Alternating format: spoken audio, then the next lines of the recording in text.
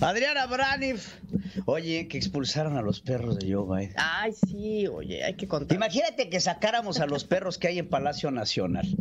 Eh, Espérate, ¿muerden también? Sí, bueno, pues hay algunos reporteros de la fuente ahí en las mañaneras que estoy seguro que tendrán que ser expulsados por mordelones. No. Sí, los dos ¿Eh? perritos por, de por Joe tener Biden su hueso. mordi- mordieron a un agente del servicio secreto Sí, ahí tampoco. y lo mandan sí. de regreso a Delaware, a este pastor. No, no sé si a los dos a uno. No, a los De- dos. a los no, dos. pues cómo van a mandar a uno nada Sí, más. para que se acompañen. Sí, sí, Sí, no, sí. que se ponen un poco agresivos ahí en la Casa Blanca y se queda la Casa Blanca sin Se mascotas. quedó a la Casa Blanca, le estaba platicando Adriana, de dónde viene la tradición de los animales en la Casa Blanca, que viene desde la época de Teddy Roosevelt, que tenía osos, Sí. tenía unos osesnos y por eso era este mote de Teddy Bear. ¿Cómo este que tenemos aquí? ¿eh? Ahí tenemos por ahí un Ahí Teddy tenemos Bear. al que es, Teddy Bear. eh, Es que buena anécdota, es que buen dato, Oye, pero- oye, este, Oye, ¿qué ahora que tenemos decías hoy? esto de las mujeres, ¿qué estaba pensando el publicista o el creativo de Burger King. En Gran Bretaña? No es nuestro patrocinador. No, no, no, Ah, hasta donde tengo entendido. Pues fíjate que con motivo del, del Día de la, de la Mujer lanzan una campaña que está en un Twitter que vamos a poner ahorita, que mira nada más lo que ponen. Women, Women belong in the kitchen. O sea, las mujeres a la cocina. Ardió Troya. ¿Cómo crees? Ardió Troya, sin lugar a Bueno, dudas. lo que ellos explican que trataban de hacer y que no lograron era decir que eh, los em, chefs allá en Gran Bretaña representan, los chefs hombres representan el 80% y que solamente el 20% de las mujeres están en esta área. Entonces querían como atraer... Como esta- atraer cocineras. Sí, como decir, bueno, más bien chefs, así como... Vamos decir, a dar empleo, ¿no? Sí, las mujeres deben de tomar un pedazo más grande del pastel en esta área de los chefs porque no no las estamos viendo más que en 20% y lanzan este tweet que, que verdaderamente les digo que Sí, lo tuvieron que bajar inmediatamente, Inmedi- pero, pero ¿en qué tweet pensando? stamp inmediatamente, sí, qué horror, mano. Qué horror. Bueno, Qué eso te lo quería comentar porque sí me parece, me parece desastroso lo que hicieron. Oye, las vacunas. Las vacunas, la nueva reglamentación o lo que dice la CDC, también lo platicábamos, Para la gente que está vacunada también en. México, ¿no? Eh, también en México. Digo, al final del día son vacunas. La CDC, que si ya tienes las dos vacunas, puedes reunirte con otro grupo de personas que ya tengan las vacunas adentro de una casa. Eso sin es novedad. Cubrebocas, Es novedad. sin sana distancia. ¿verdad? Entonces, las personas que ya tienen esas dos vacunas aquí en Estados Unidos, que son los que tienen 65 Antes de más, que nos digan, nosotros ya. tenemos las dos vacunas, por eso estamos aquí ya, Sí. eh, eh, por estos gajes del oficio en los por Estados los Unidos. gajes del oficio. Este, Aunque la eh, mayoría son 65 para arriba. Ahora sí podemos decir que, que los, los viejitos van a irse go wild en este, ¿no? Ahora En- sí, en este, este spring break. slumber parties. No, no, van a recuperar su vida. Ya literal. el 65% de los viejitos de arriba de 65 en los Estados Unidos ya está vacunado está por lo menos con una dosis. Ya está lo que habla de un gran esfuerzo por parte de los norteamericanos para vacunar a los adultos mayores de edad. ¿no? Ahorita que dices el gran esfuerzo, fíjate, el sábado eh, fue récord, se vacunó a 2.9 millones de personas en un solo día. 2.9 millones. 2.9 millones de jeringazos en los brazos el sábado. Es que sabes que, que es increíble. Increíble. El sistema es rápido. Ahí, Rápido. pa, chupa, pa, vámonos. Ahí yo todavía estoy así. ay. Es muy posible que se llegue a 3 millones diarios. Es muy posible porque estamos ya en 2.9. Seguramente la semana que entra vamos a estar diciendo que 3 millones de personas. ¿Sabes cuántas personas diarias. vacunan a México ayer? ¿A cuántos? 59 mil. Sí, imagínate. Digo, mejor que los 500 que estaban vacunando y yo al parecer llegaron algunas otras vacunas, pero hay que ver la Es diferencia que hay. ¿no?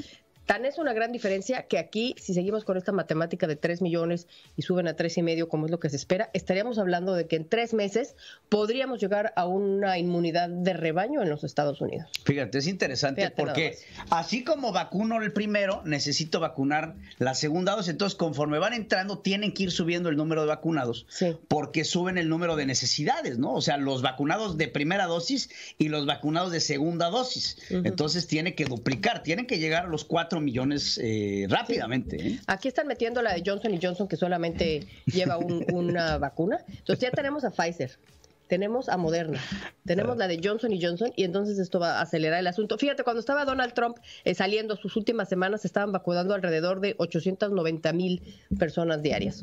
Entonces estamos Que ya. sigue siendo millones. buen número, ¿no? Sigue siendo bien número, pero para que veamos cómo va la tendencia en aumento, me parece eh, muy interesante este asunto. ¿Y quería saben comentar. cuál es la diferencia bien importante? Que se utiliza la iniciativa privada. Fíjate. ¿Estás de acuerdo? O sea, en México es el gobierno, Ujú. Pero en los Estados Unidos es también un apoyo importante a la iniciativa privada. Y lo comentabas ayer, ningún siervo de la nación Nada. está en los centros de vacunación. Se me hizo raro. Si no, tú los buscabas Yo no los estaban. busqué, dice. Digo, para agradecerles, ¿no? Sí, no, para dar las gracias. Para prometerles su voto. sí, increíble. Increíble. increíble. ¿Qué más tienes Oye, aquí en los Estados esta Unidos? entrevista interesantísima que le hacen a Lindsey Lindsey Graham, Graham. es imperdible. Hay que verla. ¿Por qué?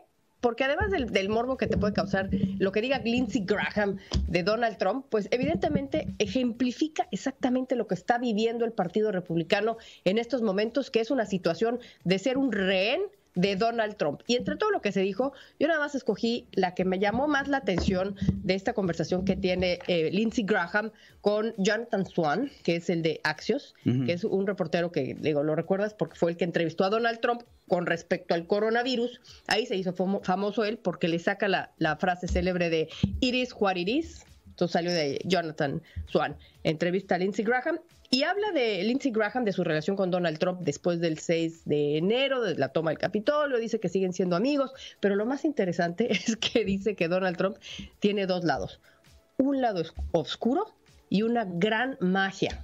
Mira, vamos a oírlo, A ver. para que no quede duda. something about Trump. There's a dark side and there's some magic there.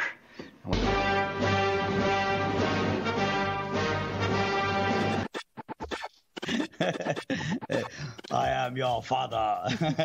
Ahora resulta que Donald Trump es el Darth Vader del Partido Republicano. Y aparte lo más O sea, chistoso pues, sí. es que la voz de Darth Vader es este actor, ¿cómo se llama?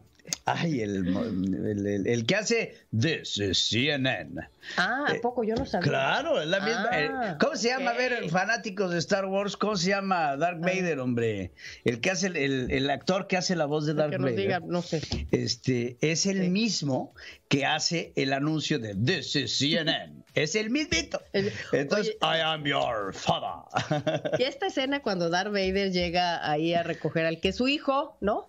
Al que es su hijo, pues es que es exactamente lo que está pasando con el Aparte, Lindsey Graham era, era uno de sus. Cuando Donald Trump se lanzó a la presidencia, Lindsey Graham era su opositor. No, no, olvídate. El día de, la, del, de un debate que hubo en el 2016, ahí está, ¿quién era? James Earl Jones. Ah, ok. James Earl Jones es el que hace la voz de Darth Vader, Mm. eh, pero es el mismo que hace la voz de CNN. Oye, ¿ves que los rallies de Donald Trump siempre salen al final con el YMCA? No dudes que ahora vamos a empezar a ver después del rally este, este himno del, del Star Wars. Bueno, es No lo dudo. El hecho es que sí decías Lindsey Graham, fíjate, yo recuerdo a Lindsey Graham en aquel debate entre los precandidatos aspirantes a la candidatura republicana para la presidencia, Donald Trump, entre otros. Y me acuerdo cómo Lindsey Graham critica y lanza una declaración terrible y dice, si escogen a Donald Trump, va a acabar con el partido republicano.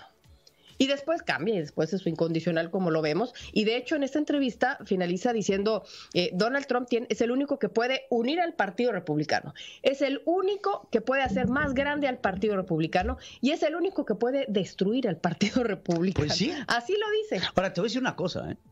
Si algo tiene Donald Trump es que es profundamente carismático.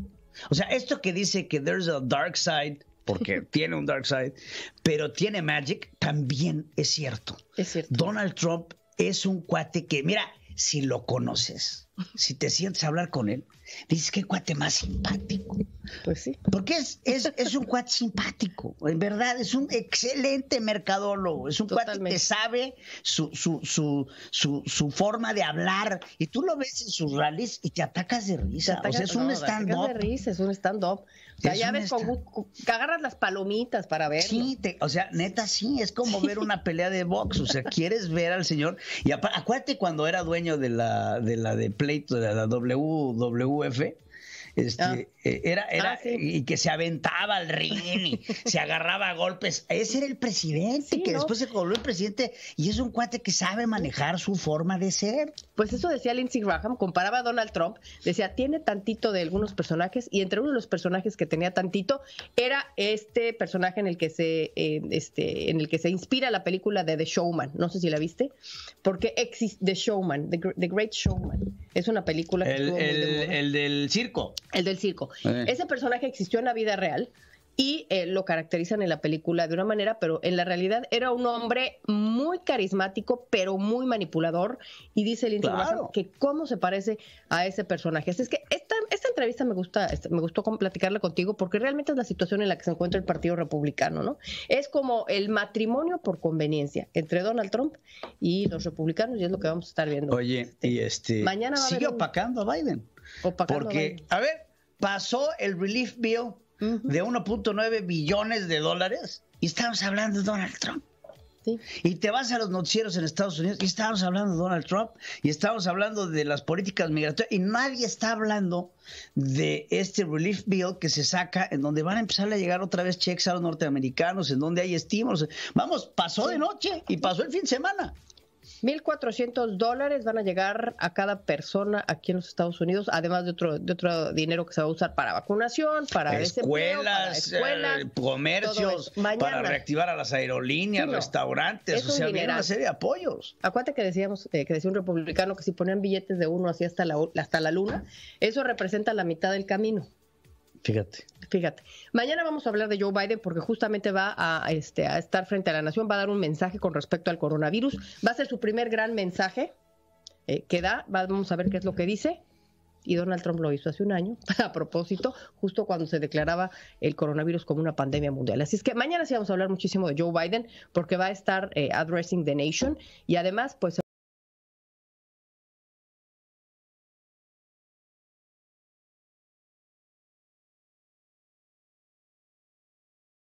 Illinois, Michigan, y creo que y la Florida no, pero Texas y Mississippi. Y Mississippi. Y otra cosa importante, y, creo que para la comunidad migrante y la gente que nos ve en los Estados Unidos es importante, eh, el TPS, este, este alivio migratorio que se da a los venezolanos.